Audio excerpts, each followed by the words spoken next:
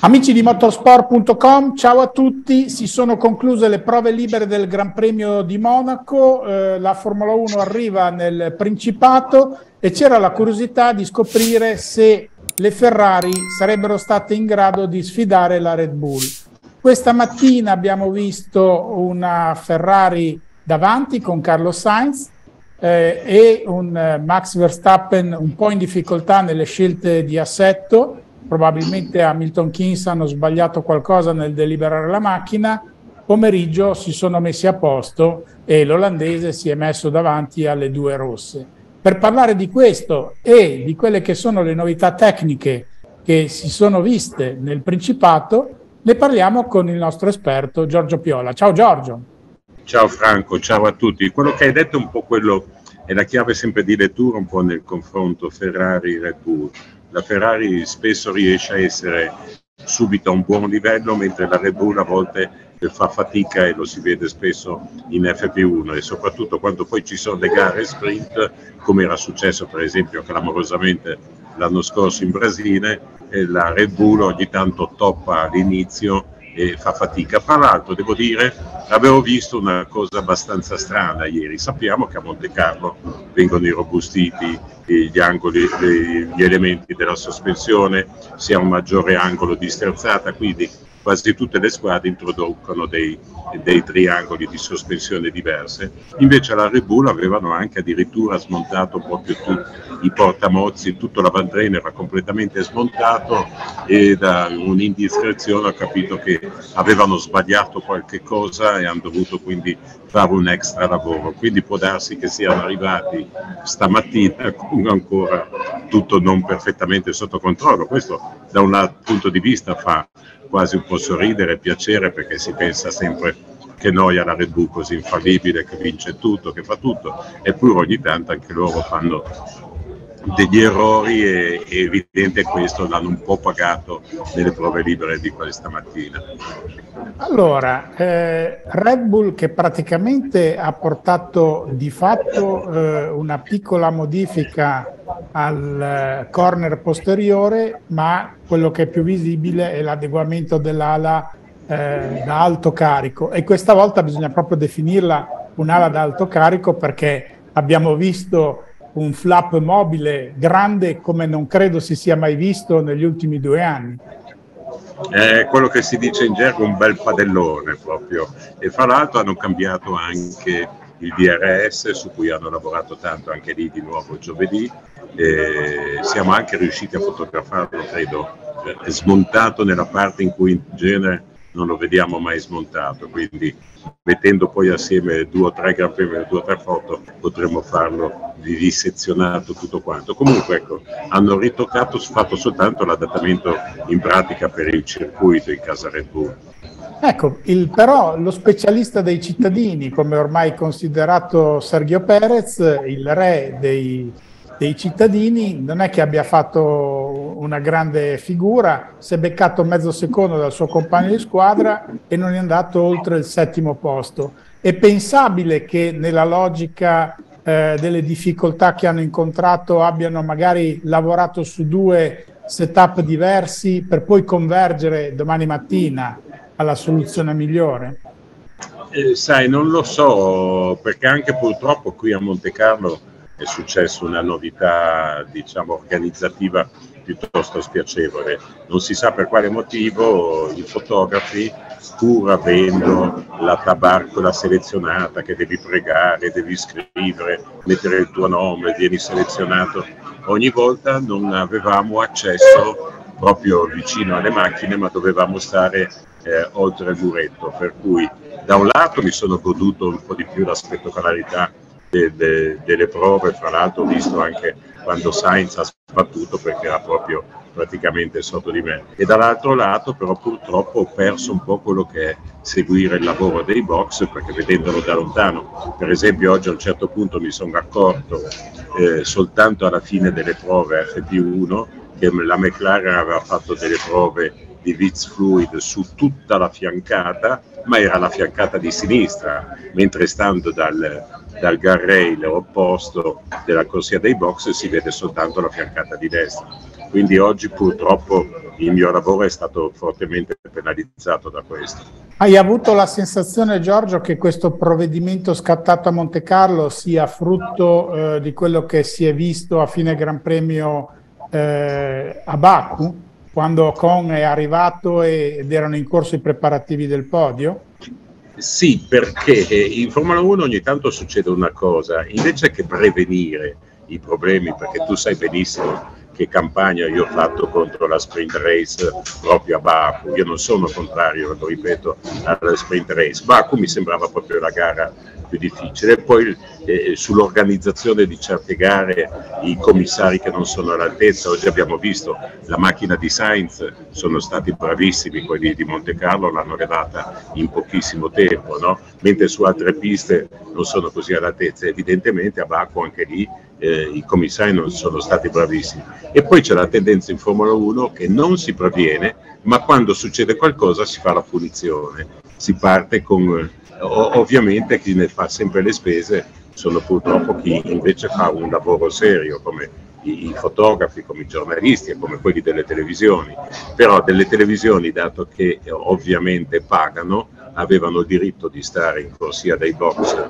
a Monte Carlo, mentre i fotografi no, dovevano stare al di là eh, del muretto. La mia paura è che queste eh, tendenze, quando si inizia io dico sempre quando si inizia una volta poi eh, continua e poi magari succede più spesso, come per esempio anche l'altro esempio di Imola, la sala stampa che era sopra i box è stata spostata poi purtroppo per le note vicende tristissime non si è svolto il Gran Premio, però noi avremmo dovuto lavorare in una situazione veramente molto poco comoda e molto poco utile per il nostro lavoro, al di là eh, del tunnel che lo sappiamo è strettissimo. Qualcuno addirittura ha detto che anche in Austria c'è un tunnel, ma il tunnel in Austria possono passare mille persone, sedersi, fare banchetti, mangiare, follie. Ci sono addirittura dei bagni che non si vedono nemmeno in alberghi a 4-5 stelle. Il tunnel di Imola, ahimè, purtroppo è proprio un cunicolo dove non si riesce a passare nemmeno in due assieme.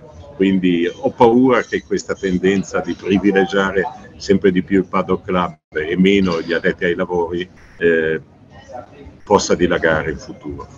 Dalla punta polemica, Giorgio, torniamo agli aspetti puramente tecnici. Sì, allora... sono stati stupendi.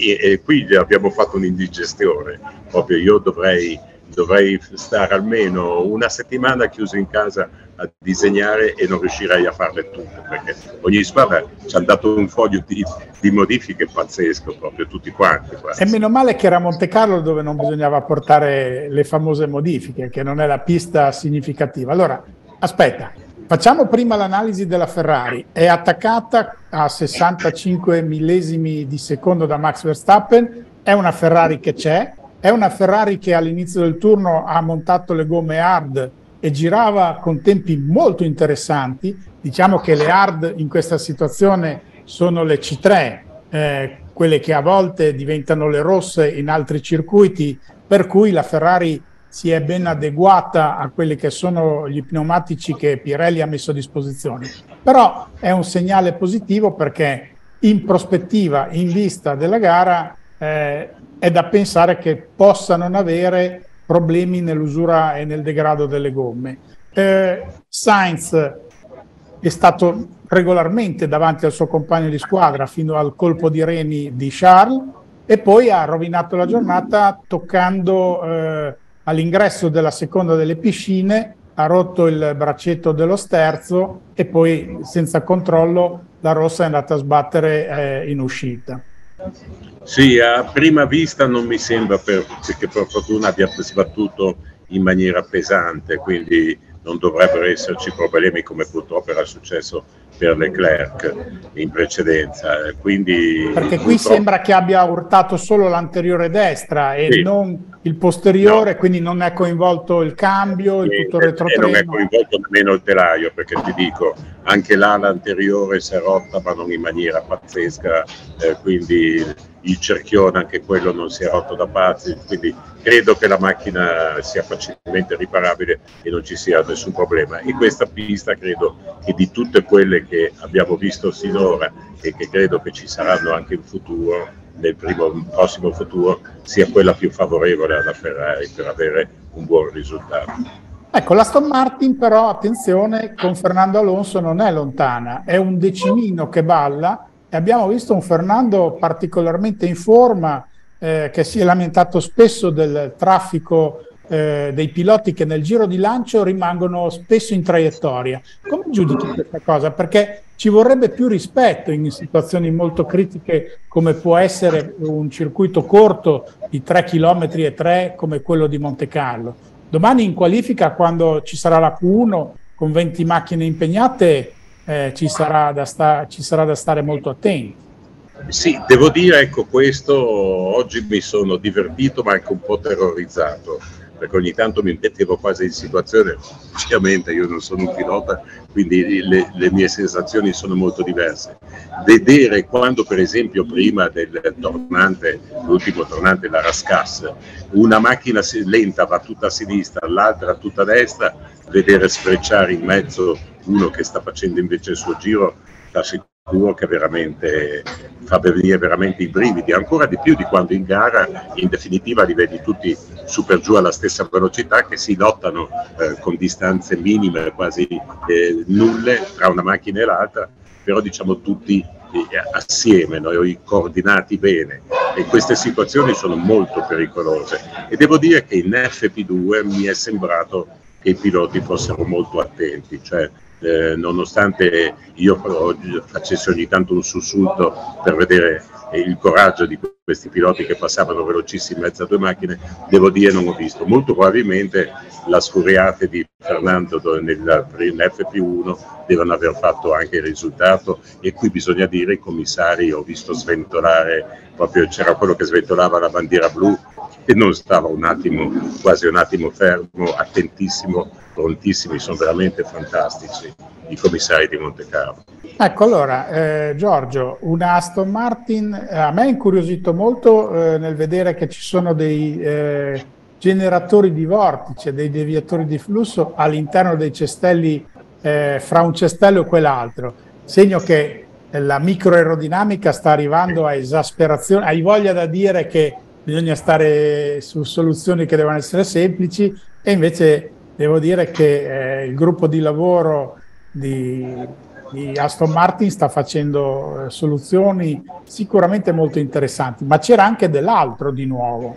Sì, c'era l'ala posteriore soprattutto da alto carico, mentre avevano due ali anteriori che però erano già state utilizzate, eh, c'è stato appunto detto che non c'era bisogno di un'ala anteriore ancora maggiormente carica perché quella già che avevano, che poi si vede l'ultimo flap che si, con una corda molto maggiorata nella zona periferica era più che sufficiente per bilanciare l'ala posteriore da maggior carica. E poi bisogna notare, far precisare una cosa, l'Aston Martin il suo punto debole finora era stata la velocità di punta. Su questo circuito è un fattore non importantissimo, quindi ecco che la, la Aston Martin anche lei eh, potrebbe essere una vettura proprio per puntare anche alla vittoria su questa gara. Allora, nella sequenza dei tempi dietro la Aston Martin di Fernando eh, appare un po' a sorpresa, devo dire, Lando Norris con una bellissima McLaren riverniciata per la tripla corona, eh, un Norris che è riuscito a mettere di pochissimo, pochi millesimi, eh, la sua MCL 60 davanti all'attesissima Mercedes di Lewis Hamilton. Un Lewis Hamilton che sembra più soddisfatto per la guidabilità della macchina, ma ancora non contento per quello che le prestazioni che riesce a offrire. Mezzo secondo a, a Monte Carlo, pista molto corta, è certamente un divario importante. È un divario importante, però scusa, penso che bisogna dare, eh, pensare che hanno appena messo, hanno costruito la macchina proprio finita eh, questa mattina praticamente, è una macchina completamente nuova, quindi senza nessun riferimento, ovvia, ovviamente con un comportamento molto diverso, perché non solo l'aerodinamica è cambiata, ma abbiamo visto anche la sospensione anteriore eh, molto modificata, eh, modificata non soltanto per avere più anti-dive, ma soprattutto per migliorare tutto il flusso d'aria, convogliare proprio la posizione dei braccetti. Io ho fatto una foto da cui farò poi un disegno, la posizione proprio del triangolo, del braccio anteriore del triangolo rialzato, del puntone e del braccio posteriore, li vedi proprio in cascata che proprio segnano proprio un flusso che porta giù quindi per un downwash molto utile per, per creare effetto suolo dai puntoni che sono stati anche questi rivisti, anche, anche le famose paratie verticali all'inizio delle fiancate, anche queste sono state modificate. Poi ovviamente è una macchina che l'abbiamo definita né carne né pesce perché ovviamente le strutture deformabili devono stare in quel punto e abbiamo visto che quella superiore che prima era staccata e faceva da eh, profilo convogliatore quindi aveva una sua funzione aerodinamica adesso praticamente forma tutta la parte superiore del, della bocca d'ingresso delle fiancate. Ecco, l'aspetto interessante forse da mettere in evidenza, Giorgio, è come eh, il Mercedes si siano inventati una sospensione nuova mantenendo lo stesso telaio. E bisogna dire che il gruppo di lavoro di James Allison ha trovato, la possiamo dire, una sorta di genialata, trovando la possibilità di attaccare nella parte superiore del telaio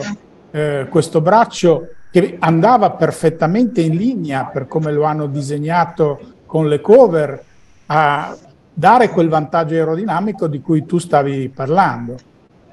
Sì, è una soluzione un po' simile a quello anche fatta dalla Red Bull. Ovviamente era la loro unica possibilità per creare questa cascata di differenza di punti di attacco perché invece il braccio posteriore del triangolo superiore era abbastanza fisso il suo punto d'attacco, eh, proprio fisso dalla, dalla forma del telaio che purtroppo è stato il grosso vincolo di questa macchina che appunto mi ha fatto dire né carne né pesce perché purtroppo eh, si avrebbero potuto, non è che non volevano, pensano che siano sbagliate, avrebbero potuto fare delle soluzioni più in linea con quello che è la tendenza attuale, ma ci sono dei vincoli regolamentari anche proprio nel telaio che devono essere rispettati e non potevano assolutamente rifare il telaio in questa fase. Ecco Giorgio, eh, ci sono diverse macchine, lo hai citato, che hanno portato curiosità, ce n'è una in particolare che ci ha riportato un po' indietro nel tempo, sto parlando dell'Alpine, che comunque è con due macchine nella top 10, vedo che sorridi, lascio a te la parola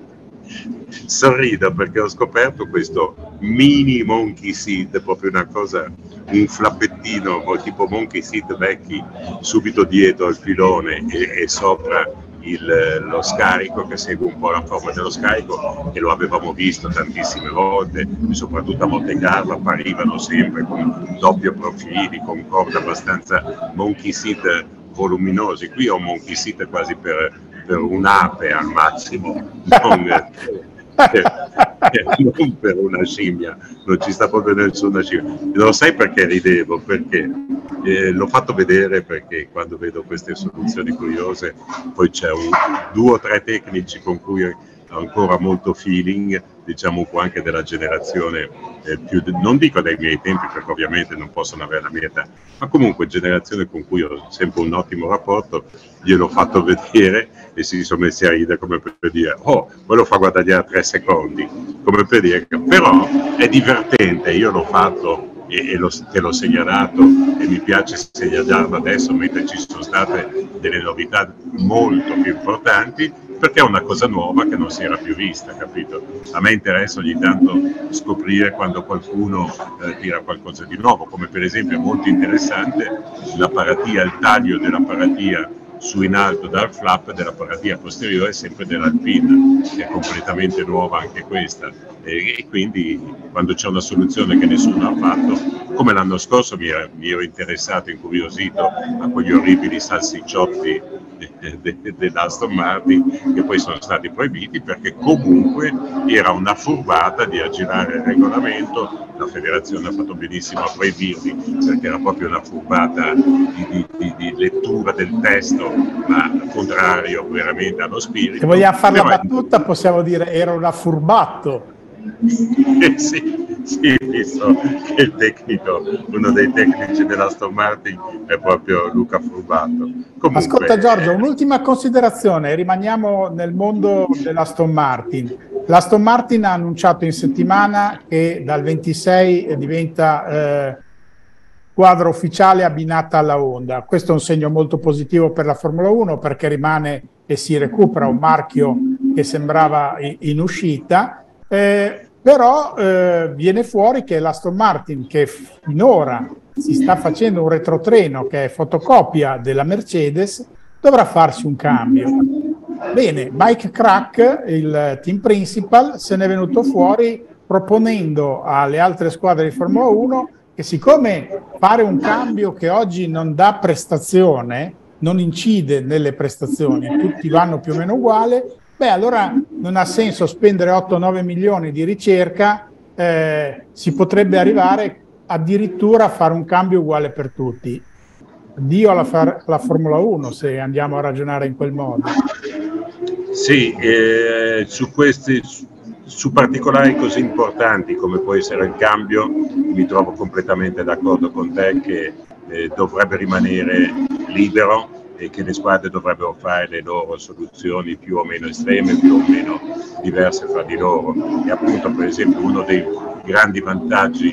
della Red Bull è proprio la scatola del cambio che è disegnata in maniera proprio particolare, poi molto, la scatola esterna molto stretta e, e quindi con, eh, con, uno studio non solo meccanico ma anche eh, in funzione aerodinamica. Quindi ma infatti io... l'anomalia del racconto è che uno bravo come Mike Crack, il team principal, va dicendo a livello prestazionale il cambio non conta niente. È vero, nelle cambiate col seamless sono ormai tutti uguali, ma quanto conta la scatola del cambio come parte fondamentale del retrotreno e cavolo se conta sì, bisogna vedere se magari in questa sua frase forse intendeva diciamo, la parte meccanica da farla. No, la sensazione è che quanto più si va a farla uguale con gli altri, loro che non ne hanno la cultura nel farlo, si semplificavano il compito. Però non può essere sempre quella del, del vantaggio di cassetto eh, in quella Ma... che è un'analisi a prospettiva più lunga. Ma sai quando succedono, per esempio, eh, ormai in Formula 1, mentre prima i regolamenti, tanti anni fa venivano fatti dalla federazione e i costruttori si ritrovavano il regolamento e non ne sapevano niente. Da quando c'è stato l'andazzo dei regolamenti studiati insieme ai costruttori, è ovvio quando si andava nei meeting proprio per decidere le cose, ogni singolo il costruttore, ogni singolo rappresentante ingegnere portava sempre una soluzione che loro o avevano già studiato o gli veniva bene a loro. Mi ricordo per esempio quando è sorto a un certo punto anche le strutture deformabili che la Ferrari le aveva messe staccate. Credo che Rory Byrne ci avesse già pensato prima e quando si è parlato di come posizionare le strutture, di come mettere i limiti delle barge, di tutto quanto, ovviamente è stato fatto una proposta che poi era poi vantaggio. Eh, ecco, l'unica volta che racconto qui, scusate, adesso scappo cambio completamente, andiamo indietro quasi di secoli. L'unica volta che ci fu una scena bellissima, quando eh, c'erano ancora le riunioni a Maranello, che ovviamente col grande commendatore, grande capo Bernie Eccleston e Jean-Marie Balestra all'epoca andavano a discutere i regolamenti, tutte le varie cose a Modena, a casa del, della Ferrari e quella volta il, il, buon Frank Williams tornò a casa alla Williams e disse tutto bello soddisfatto a fare dei. Lo sai che oggi è stata una riunione stupenda, molto costruttiva, abbiamo fatto tante cose e abbiamo proibito le quattro ruote motrici. E a quel punto c'è stata un'esplosione e, e con Patti che dice scusa, quelle quattro ruote che è nel mio progetto segretissimo che stiamo studiando da due anni nella macchina che stiamo facendo, cosa pensavi che fossero? E Frank, eh, ma è segretissimo, non me l'hai mai detto. Ecco, quello fu una so cosa che venne proibito, una soluzione che tra l'altro sembrava desse un vantaggio incredibile perché permetteva di fare un diffusore lunghissimo, quindi un vantaggio molto superiore a quello delle quattro ruote davanti. E poi aveva ecco, le quattro ruote eh, piccole posteriori, quindi anche nella resistenza, quindi, nella resistenza sì, aerodinamica. Chi ha un po' i capelli bianchi ricorderà che le Formula 1 di quell'epoca avevano delle ruote posteriori enormi erano quasi spropositate rispetto a quelle anteriori. Quindi un, un, progetto che poteva veramente, avrebbe catapultato la Williams a un dominio pazzesco, ecco che succedeva, ma sempre per questo, perché ovviamente i costruttori cercano sempre di tirare l'acqua al suo mulino. In quel caso lì è stato l'unico caso in cui un costruttore si è dato una bella diga su, su, su, sul fiume, ha bloccato tutto quanto, una zappa sui piedi e, e Patrick per poco lo fa fuori. Va bene, con questo eh, episodio curioso degli anni ANTA, eh, ti ringrazio Giorgio, ti do appuntamento a lunedì eh, quando analizzeremo il Gran Premio. Eh, amici di motorsport.com, cliccate la campanella qui in alto a destra, iscrivetevi al canale, eh, così avrete le informazioni dei prossimi video. Commentate qui sotto, fateci sapere cosa ne pensate. Tra l'altro, questi episodi eh, servono anche a tenere vivo un eh, racconto di una Formula 1 che tende ad andare sempre di più a cercare solo e soltanto lo show e noi rimaniamo i vecchietti che spingono al fatto che la, la tecnica, la tecnologia non venga, non venga messa in secondo piano. Grazie a tutti, grazie Giorgio. Ciao a tutti. Ciao. Ciao, buona serata.